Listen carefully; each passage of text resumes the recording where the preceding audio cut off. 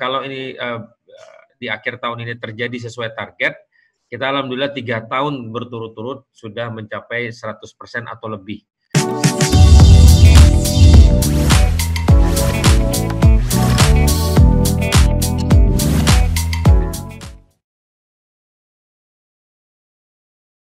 Uh, kalau gitu uh, saya mulai. Assalamualaikum warahmatullahi wabarakatuh. Uh, di sini sesuai dengan topik uh, kita akan bicara mengenai bagaimana kita meleverage operational excellence dengan data analytics. Uh, tapi sebelum saya mulai, uh, saya memperkenalkan diri. Nama saya Javis Wardin. Saya uh, Deputi Perencanaan di SKK Migas. Ya tadi saya senang sekali bisa melihat Pak Amin. Saya nggak tahu apakah Pak Amin masih di uh, di apa di channel ini uh, dulu waktu saya masuk SKK Migas tahun 2017 itu kepala SKK Migas adalah Pak Amin dan beliau memang sudah melakukan waktu itu uh, bagaimana uh, data dan digitalisasi di SKK Migas itu di, dilakukan. Jadi beliau memang sangat berpikir sangat ke depan mengenai data. Jadi pas sekali tadi bahwa Pak Amin uh, Pak Amin uh, bisa bisa membantu kita tadi uh, dalam memberikan pencerahan. Nah, di sini saya akan bercerita sedikit bagaimana SKK Migas itu SKK Migas itu akan uh, meneruskan bagaimana uh, me, apa memanage oil and gas Indonesia dengan datanya yang sama itu dan beberapa program ada yang baru beberapa program ada yang sudah meneruskan dari yang dilakukan uh, oleh Pak Amin kemarin. Saya ke slide berikutnya sebentar.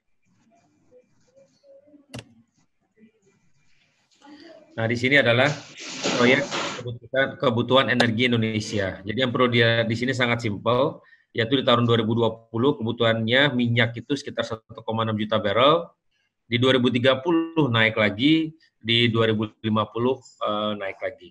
Nah, sedangkan produksi kita sekarang ada sekitar uh, dari target 750 ribu barrel oil per day, uh, itu turun karena adanya apa karena adanya COVID ya dan harga minyak rendah. Nah, tapi walaupun begitu kita tetap saja mempunyai gap. Ya nanti kita lihatkan ke depannya seperti apa.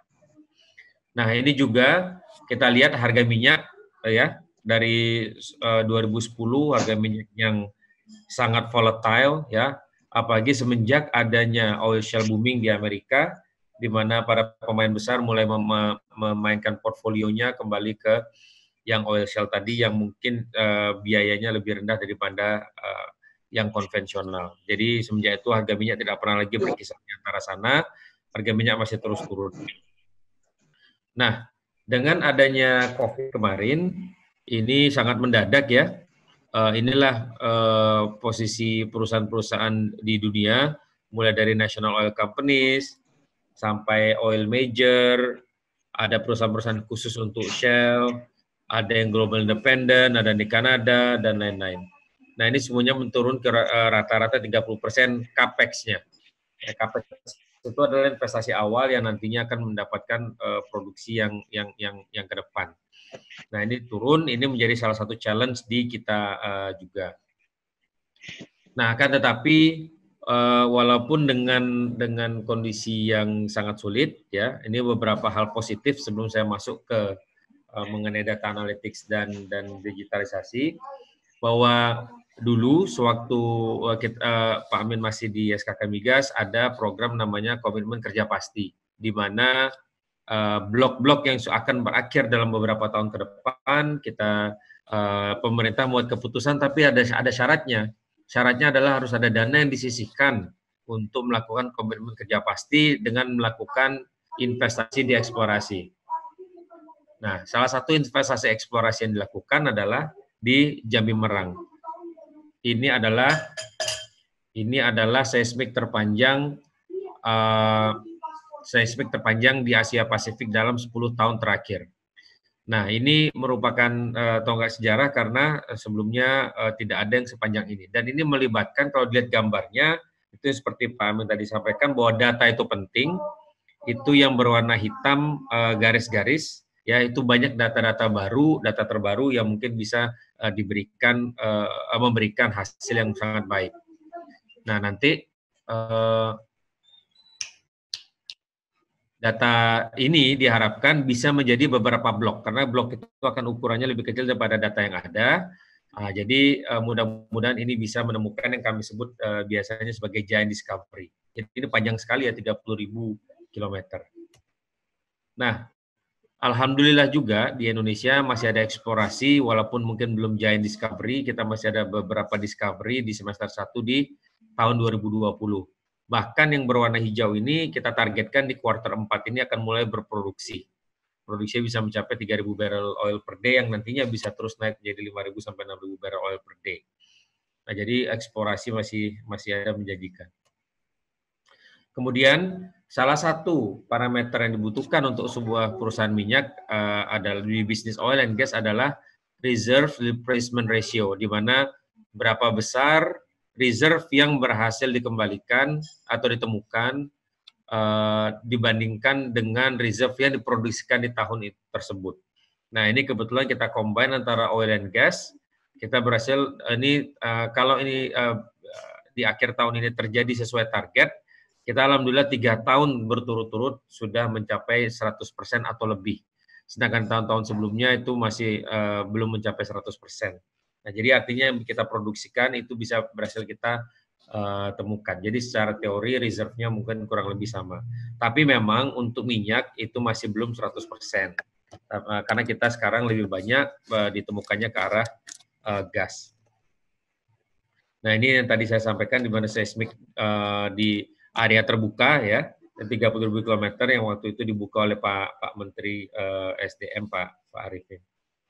Nah, sekarang kita lihat apa yang akan kita lakukan ke depan dan bagaimana data itu sangat sudah sudah menjadi wajib ya dilakukan untuk mensupport ini. Jadi untuk rencana jangka panjang bisa dilihat di sini. Yang pertama perlu dilihat adalah di grafik ini ada tulisannya RUEN, Rencana Umum Energi Nasional yang dikeluarkan tahun 2017, 2016-2017 yang waktu itu mengatakan bahwa poten, uh, produksi Indonesia akan mengikuti garis merah putus-putus. Ya, saya ulangi garis merah putus-putus. Alhamdulillah sekarang saja itu kita ada di titik 2020 itu di nanti di 705 itu karena itu sudah uh, outlook berdasarkan kondisi yang ada Covid uh, dan lemahnya harga minyak. Jadi kita sekarang itu sudah sekitar 200 ribu di atas apa yang kita prediksi di 2016-2017. Ya, jadi kita doing well dari sisi sini walaupun ini masih jauh di bawah uh, kebutuhan uh, kita. Nah, kita harus me me merubah tren ini. Kita harus naik. Ya.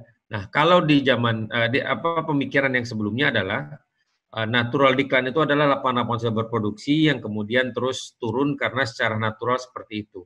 Nah, kalau kita melakukan sesuatu ke lapangan tersebut, maka muncullah uh, area yang berwarna hijau.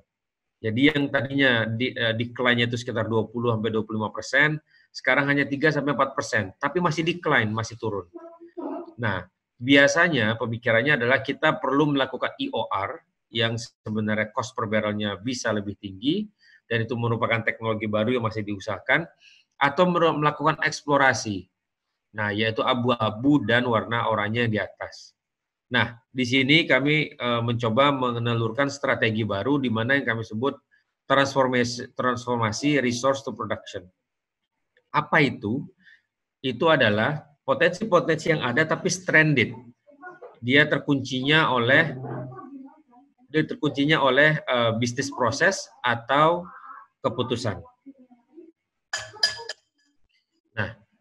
Kalau yang warna abu-abu dan warna oranye eksplorasi itu lebih mengarah ke arah uh, itu lebih mengarah ke uh, subsurface atau istilahnya buatan Tuhan ya.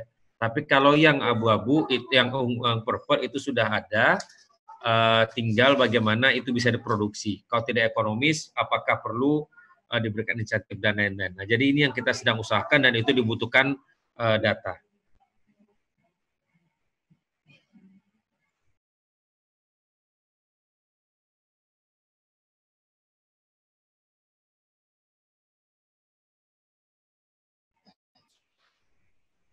Uh, kemudian untuk mencapai ini jadi ada empat yaitu kita mau mempertahankan tingkat produksi existing yang tinggi, kemudian kita mentransformasi sumber daya ke produksi, kemudian kita mempercepat yang IOR yang dalam hal ini yang sangat besar adalah chemical IOR dan kemudian me mencari penemuan eksplorasi untuk yang kita uh, targetkan giant discovery.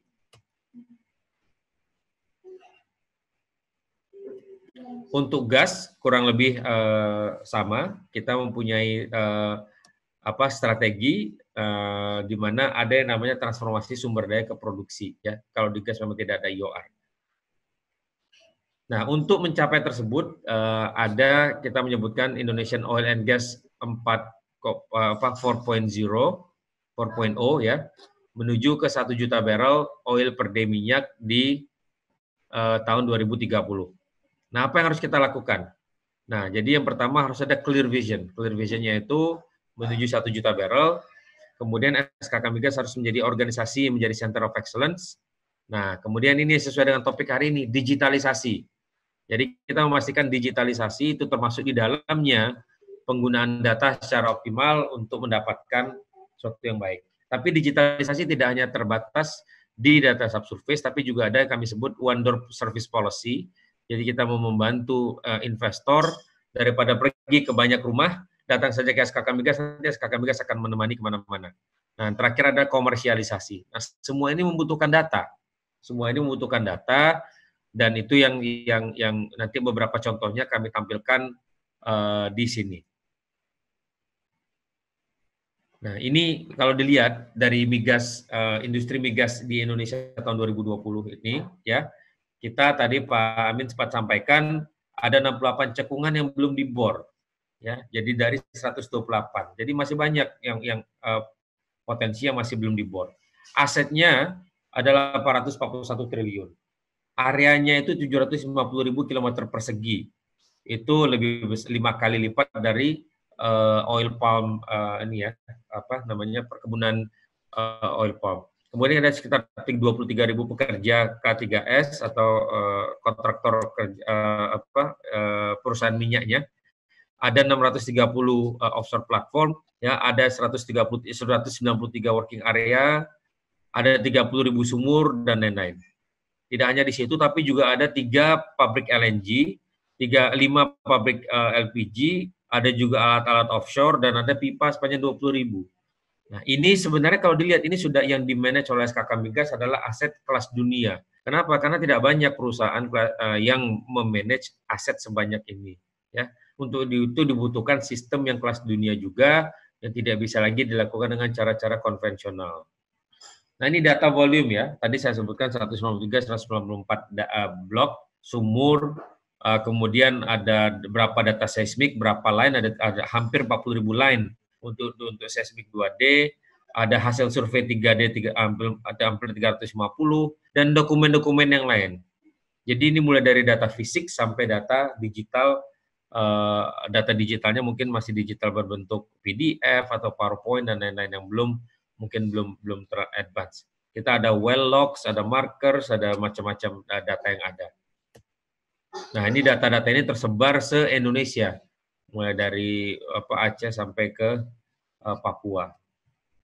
Nah, apa yang harus kita lakukan untuk itu? Yang kami lakukan adalah itu kami membuat beberapa sistem yang memang Pak Amin tadi benar sekali bahwa ini dibutuhkan orang-orang uh, yang mempunyai visi dan mengerti mengenai IT. Ya, yang pertama adalah kita mulai dari kegiatan eksplorasi. Kita ada namanya uh, Integrated Data Exploration atau IDX.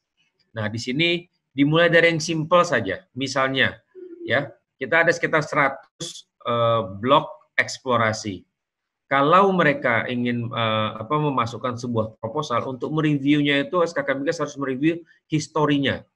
Nah, historinya dari mana kita dapat? Ada nggak historinya tersebut masuk ke dalam data. Apakah datanya terupdate uh, uh, dengan uh, apa update kegiatan mereka yang terbaru di lapangan.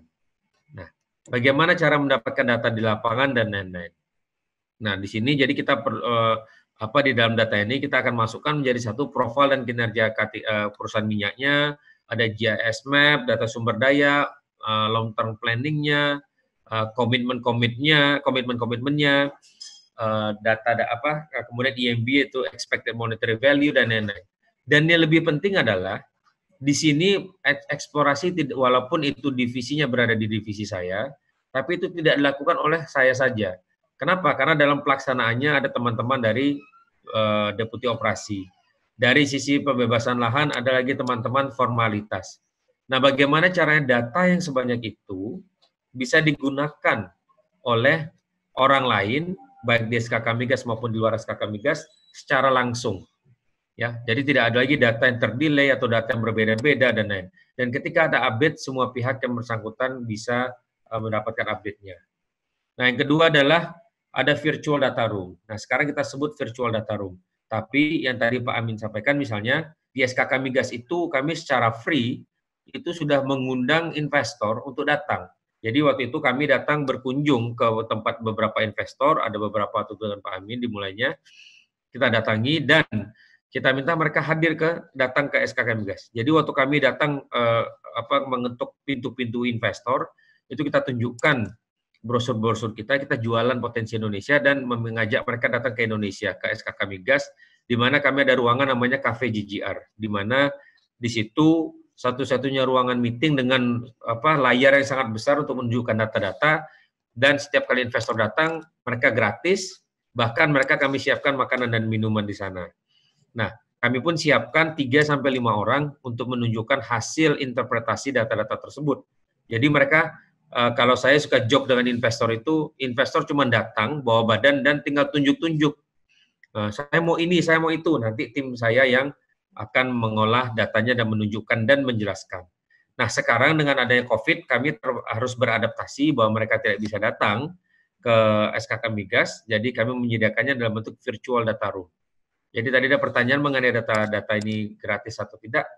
Uh, untuk yang datang visit ini gratis, tapi untuk yang dari Kementerian SDM itu ada biaya minimal uh, dalam bentuk membership. Kenapa? Karena kemarin sempat diskusi dan beberapa investor, mereka membutuhkan sistem yang kuat, cepat, ya. Mereka tidak ingin gratis, tapi apa? Uh, misalnya uh, susah di download. Akhirnya dilihat berapa dana untuk membuat sistem yang sangat kuat dan memaintain sistemnya diberikanlah dana membership yang sangat uh, minimal ya uh, mungkin kalau dari hasil survei dana yang diminta itu hanya sekitar uh, seperempat dari dana yang data, apa biaya membership yang investor pun sebenarnya mau membayarnya. Tapi memang idealnya dana dananya sebesar semurah mungkin atau bahkan bisa suatu saat menjadi gratis ya. Yang diberikan akses itu kalau di sini misalnya teman-teman mahasiswa itu diberikan akses juga mahasiswa itu gratis. Kenapa? Karena kita membutuhkan ide-ide baru ya startup startup company mungkin data-data scientist yang mampu mengolah data-data tersebut dan berdiskusi dengan kami. Jadi nanti kalau ada sudah dapat akses, mau diskusi monggo ya, silakan datang ke SKK Migas kita kita diskusi bersama. Nah, untuk eksplorasi ya kalau dilihat di sini gambar yang paling kiri ini ada grafik satu juta barel tadi. Tadinya itu masih manual, setiap warna itu dengan Excel dan dengan tim tertentu. Nah, itu mau kami gabungkan jadi satu dan ini sudah berjalan sehingga menjadi satu kesatuan SKK Migas. Nah, kalau lihat gambar sebelahnya, itu yang di, ada current ada new normal. Current itu apa? K3S sendiri, SKK Migas sendiri. Nah, tadi yang seperti Pak Amin sampaikan, data sudah digabungkan dan sekarang kita membuat dashboard-dashboard dan data analytics. Ya, bahkan untuk eksplorasi kita sudah mulai uh, sudah berkoordinasi dengan dengan teknologi penyedia teknologi untuk melakukan machine learning dan artificial intelligence. Karena data kita puluhan tahun banyaknya minta ampun. Ya, nah teknologi yang terbaru sekarang harus uh, sudah mampu mengolah atau menginterpretasikan data-data yang lama tersebut. Nah, kemudian kalau dilihat di sini ini banyak istilah yang mungkin teman-teman yang bidangnya IT itu sudah sangat sudah sangat familiar. Itu tadi AI ya, machine learning. Kita juga sudah menggunakan sistem cloud. Kami sedang eh, saya sudah berdiskusi dengan managing directornya uh, Google Cloud Indonesia bagaimana SKK Migas bisa bekerja sama. Kenapa? Uh, dengan cloud tersebut tidak hanya datanya secure, uh, ya dan lebih lebih optimal penyimpanannya uh, kalau mau di, dianalisa dengan software-software tertentu itu bisa lebih cepat karena data sudah di sana. Nah, kemudian uh, tentunya di challenge di Indonesia ada peraturan mengenai ownership data dan lain-lain yaitu harus sesuatu yang harus kami kami jalani dan tempuh. Nah, kemudian juga ada deep analytics. Jadi kalau hanya mendigitalkan kertas itu bagus tapi itu kurang advance. Yang lebih advance adalah memasukkan data langsung muncul data analytics yang sudah kita rancang. Nah, ini untuk ke depannya apalagi ya kita mau menggunakan production forecast tool, asset portfolio management, automated interpretation, your candidate selection dan lain-lain. Ya, ini mimpi kita yang sudah kita mulai ya dalam satu dua tahun terakhir. Kemudian ada lagi namanya SDMS. Nah, ini tadi mungkin disampaikan Pak Amin adalah Subsurface uh, Data Management System. Jadi kita alhamdulillah di 2019 uh, sudah terkumpul 100% yaitu 200 K3S dan sekitar data itu 120 terabyte subsurface data dan data-data lain. Nah, kita akan mentransform itu lebih lanjut ya menjadi digitalization proses karena yang sedang melakukan uh, eh, ESDC ya uh, itu digitalisasi 3.0 ya itu sedang kita lakukan sekarang dan akan kita teruskan menjadi data science analytics dan, akhirnya nanti menjadi uh, data driven decision making. Nah ini tentunya uh, apa sekali lagi kalau backgroundnya IT ini bisa mudah dimengerti tapi dalam pelaksanaannya tidak semua orang mengerti IT dan ini tentunya banyak challenge yang harus kita kita tempuh dan ini uh, juga mem memakan dana. Nah rencana yang lainnya apa misalnya kita mau remastering data-data yang lama ya supaya dulu tidak terlihat ada oil uh, apa minyak dan gas sekarang mungkin bisa terlihat dan juga melakukan uh, kegiatan studi 50.000 km persegi pseudoseismik. Jadi ini bukan physical seismik tapi menggunakan pseudoseismik untuk lagi-lagi mengidentifikasi potensi hidrokarbon. Ya, kita melakukan aset-aset manajemen dan optimisasi dan tentunya melakukan deep learning. Ya, deep learning untuk analisa potensi basin. Untuk sisi operasi, kita juga harus mendapatkan data-data terbaru. Ini tahun uh, 2019 Desember kita sudah ada Integrated Operation Center di mana semua data-data operasi itu sudah muncul di SKK Migas. Ini diresmikan waktu itu Pak Sekjen itu Pak Ego di gambar kiri atas itu mewakili Pak Menteri waktu itu ya uh, bahwa di sini apa datanya centralized dan terintegrasi uh, di sini di sini apa uh, bisa berkolaborasi uh, memonitor dan uh, semua fasiliti dan lihat bagaimana apa yang terjadi di lapangan. Jadi di sini nanti ada khusus untuk drilling, ada untuk kapal, ada stok. Jadi kalau dilihat di gambar kanan atas ada bentuk tangki, itu isinya tangki-tangki stok sebelum dimasukkan ke dalam kapal.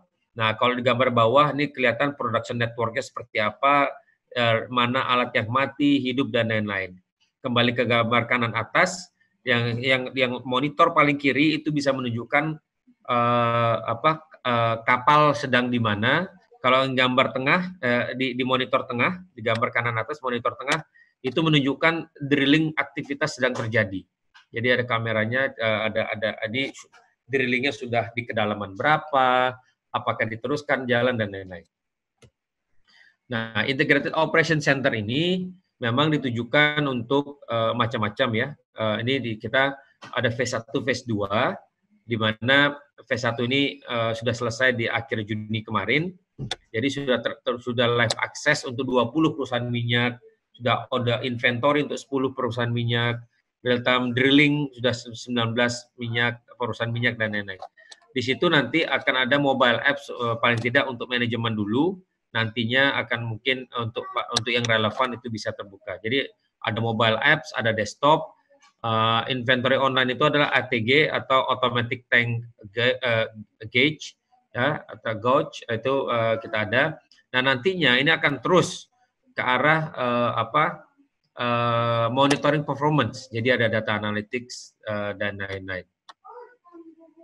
Nah, ini untuk berikutnya adalah yang kami sebut tadi Wonder Service Policy. Jadi kita sudah memasukkan data-data itu secara online, ya, yang sehingga bisa mempercepat uh, prosesnya. Ini adalah saat terakhir. Saya mengingatkan lagi bahwa salah satu dari lima uh, transformasi di SKK Migas adalah digitalisasi.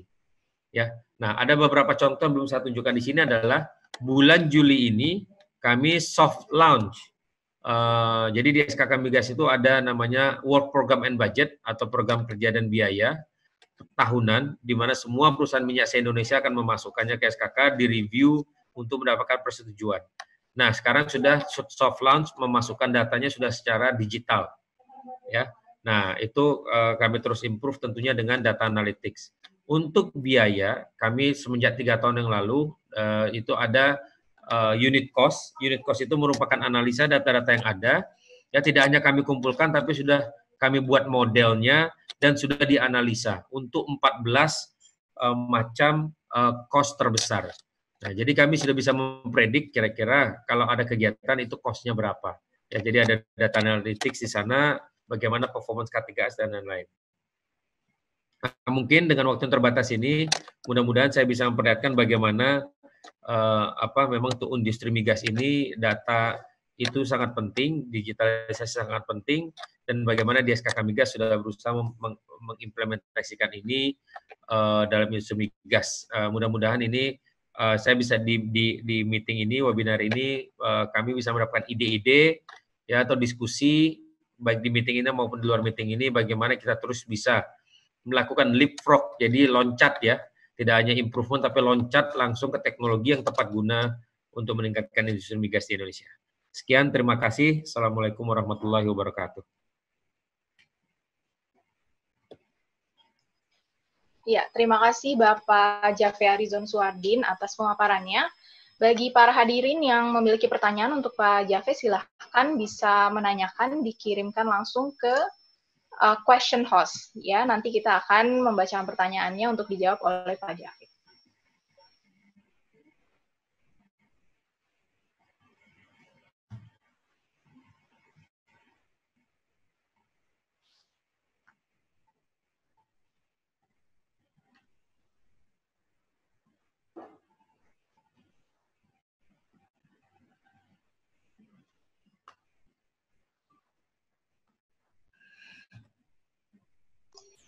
Iya, baik. Ini ada pertanyaan Pak Jaffe dari ya. sebentar.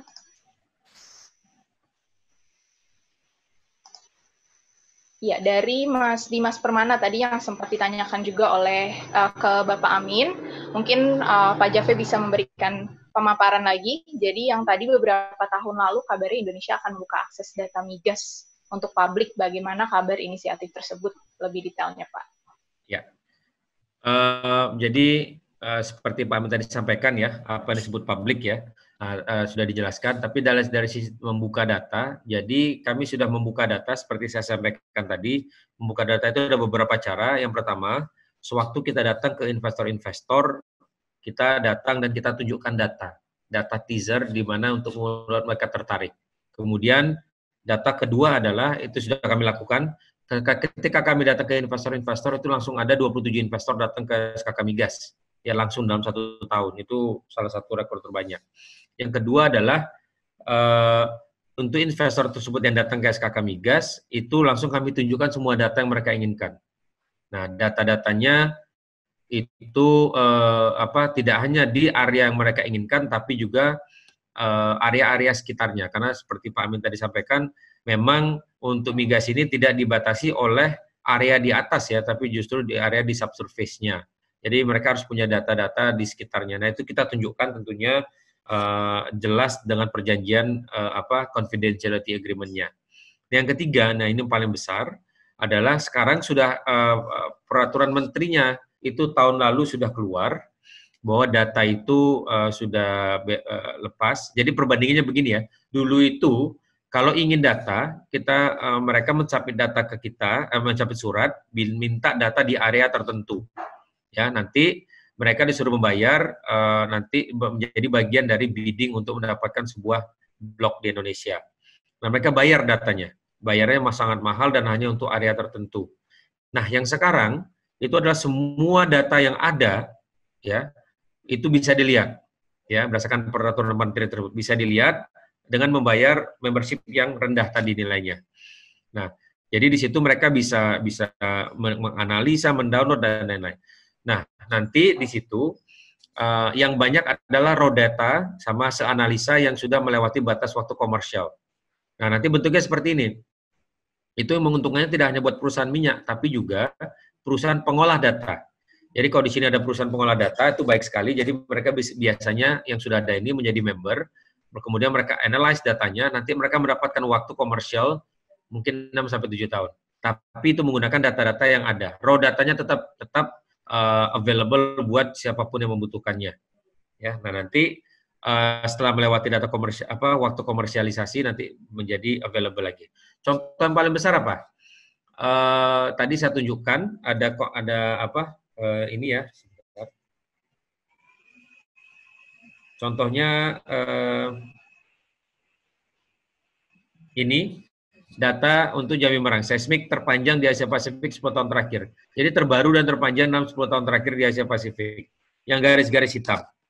Nah, kalau ini datanya ada, tapi hanya bisa diakses oleh satu atau dua investor, ini nggak ada gunanya.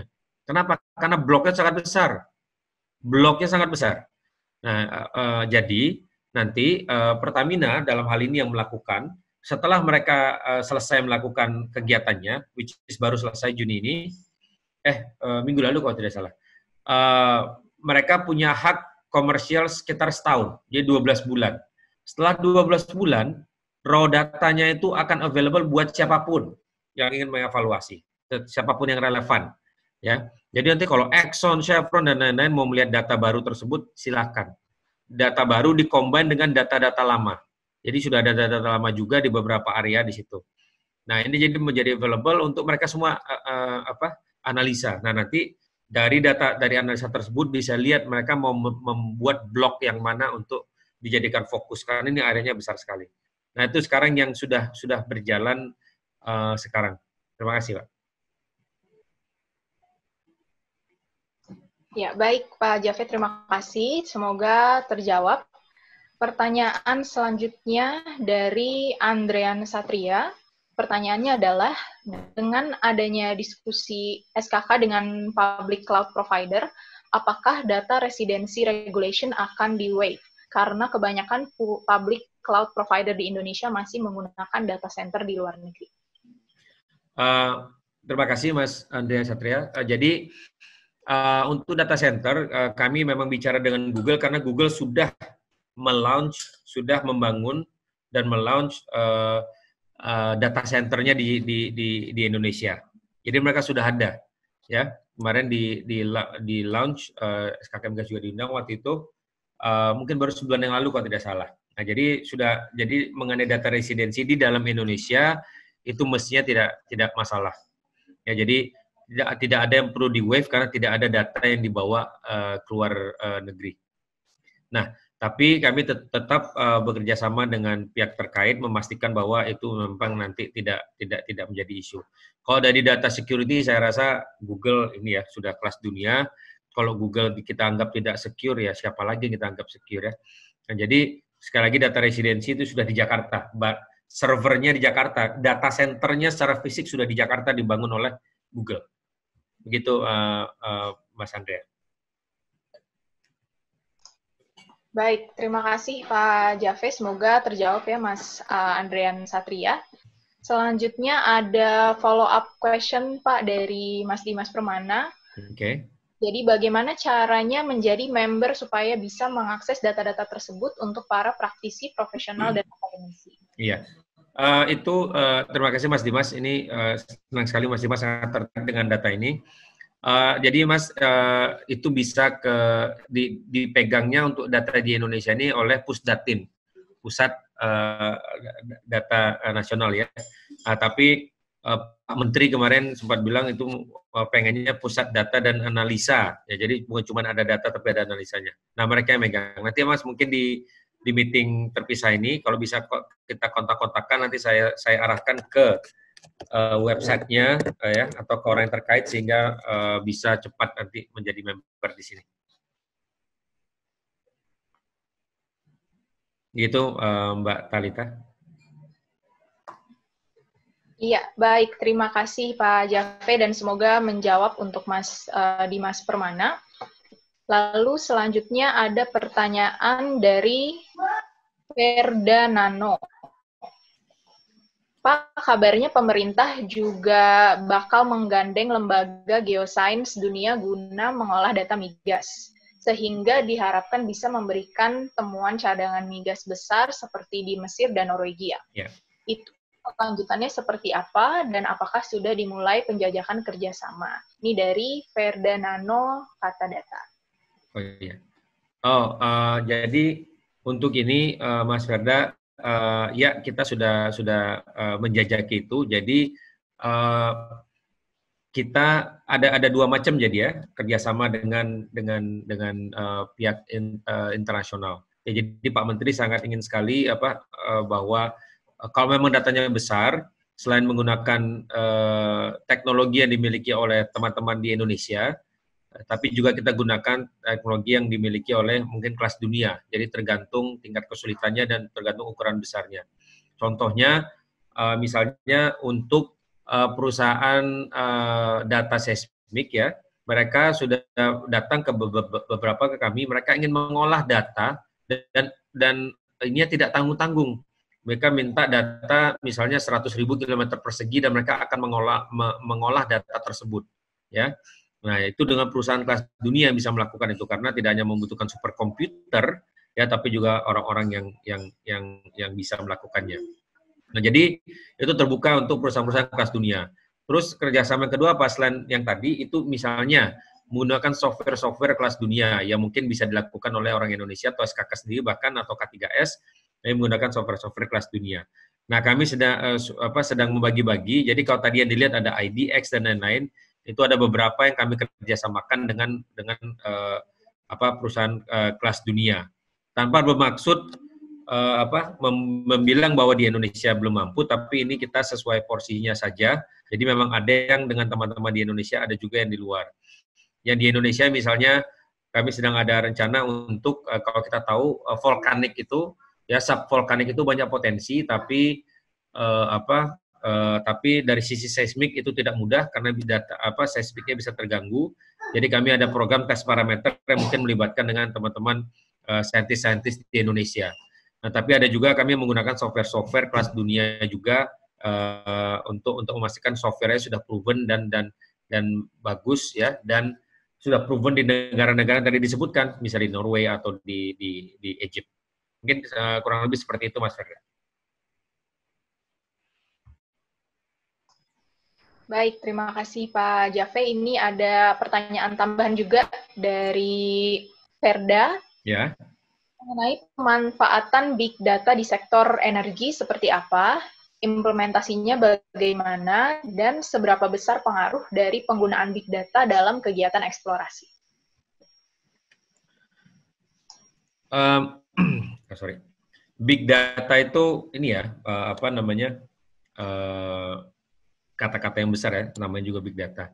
Tapi gini, uh, yang paling penting adalah kita mempunyai data yang sangat banyak ya, kalau khusus eksplorasi ya, data yang sangat banyak yang umurnya sudah puluhan tahun.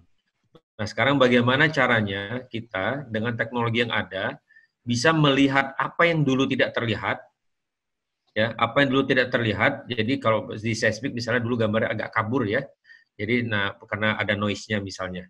Nah, yang sekarang teknologi terbaru mungkin bisa lebih menghilangkan noise-nya sehingga ini lebih lebih uh, terang, lebih lebih terlihat. Itu yang pertama. Yang kedua, teknologi ini harus mampu melakukannya dengan cepat, ya, dengan cepat. Jadi yang dulunya mungkin tiga bulan bisa nggak sekarang jadi satu minggu, gitu.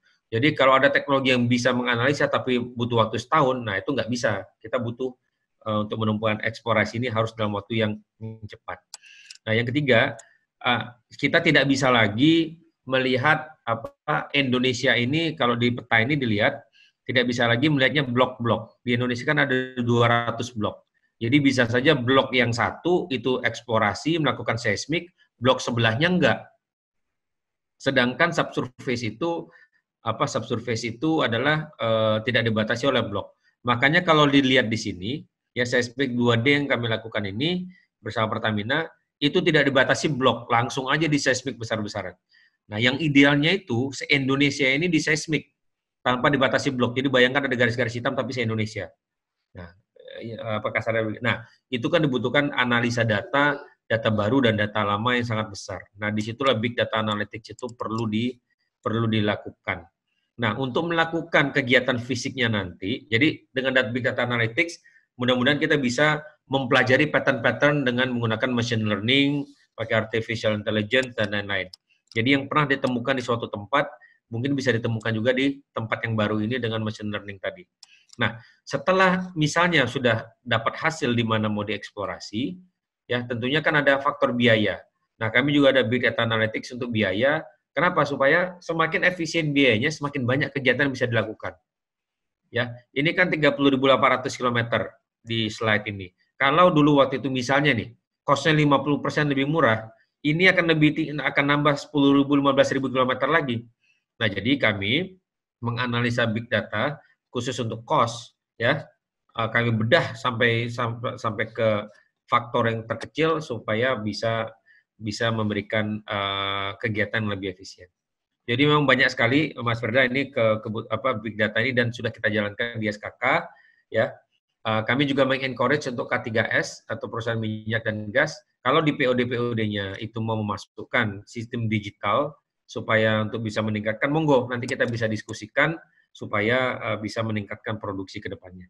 Mungkin begitu Mas Ferda, Mbak Kalita. Iya, terima kasih Pak Jave dan semoga terjawab untuk Mas Herda. Selanjutnya ada pertanyaan dari Mas Ronggo Putro. Izin bertanya Pak, apakah sudah ada AI yang diaplikasikan untuk meningkatkan akurasi data seismik versus reserve calculation? Wah, ini apa? Detail sekali uh, pertanyaannya. Saya kebetulan bukan orang eksplorasi. Uh, itu uh, tapi kalau di SKK ya menurut saya itu belum belum banyak dilakukan mas itu baru akan kita lakukan kita sudah diskusi dengan dengan penyedia jasanya bagaimana AI bisa bisa dilakukan saya juga yakin di K3S lain di Indonesia mungkin belum belum terlalu banyak ya uh, tapi kita sangat open ke teknologi-teknologi yang yang terbaru yang yang yang bisa kita gunakan untuk meningkatkan eksplorasi di Indonesia gitu mungkin Mas Ronggo sama Mbak Talita. Iya, terima kasih uh, Pak Jaffe. Semoga menjawab Mas Ronggo. Ini kita ada pertanyaan terakhir nih Pak dari Ibu Yunita Diah dari Premier Oil. Mau tanya Pak, apakah ada target waktu dari SKK Migas untuk menghimbau KPS KPS di Indonesia untuk go digital dan sampai tahapan automated data analytics karena point of view uh, Ibu Yunita sebagai reservoir engineer, hal tersebut sangat berguna untuk menaikkan work efficiency, increase work productivity, dan juga reduce risk dan uncertainties. Ya, uh, mulai dari sekarang, Bu, sebesarnya mulai dari kemarin, Bu Yunita, uh, monggo aja kalau ada ide-ide untuk penggunaan teknologi yang bisa ini. Uh, nanti diskusinya adalah bagi apa value dari teknologi yang dibawa. Kalau ada value-nya uh, apa SKK tidak akan mencegah. Bu. Jadi monggo dipropos dan diajak baik dari sisi apa tadi reservoir tadi baik uh, maupun sampai ke operasional ya. Jadi tidak ada apa ya tidak ada oh mulai tahun depan enggak. Mau nanti siang mulai mau diskusi sama SKK juga boleh Bu mengenai uh, apa tadi uh, teknologi itu. Monggo Bu, Bu Yunita. Begitu Mbak Talita. Baik, terima kasih Pak Jave dan semoga um, terjawab untuk Ibu Yunita. Dan sayang sekali sesi Q&A ini harus diakhiri. Uh, terima kasih para hadirin atas antusiasme uh, bertanya kepada Pak Jave dan juga kepada Pak Jave. Terima kasih atas ya, paparan dan juga jawabannya. Uh, sekarang Pak Jave dimohon untuk uh, join di breakout room untuk proses dokumentasi bersama manajemen IKRA. Oke, terima kasih semuanya. Ya, mari. Assalamualaikum.